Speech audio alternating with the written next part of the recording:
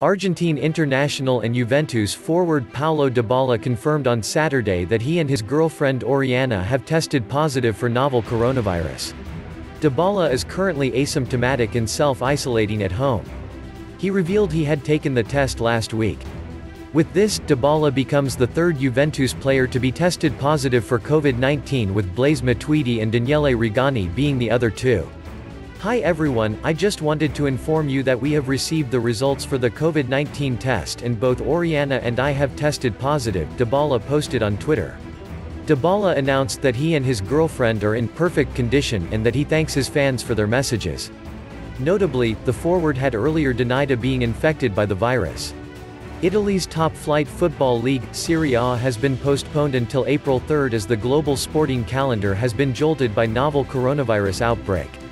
Only recently, the English football season suspension, including Premier League, was extended at least until end of April.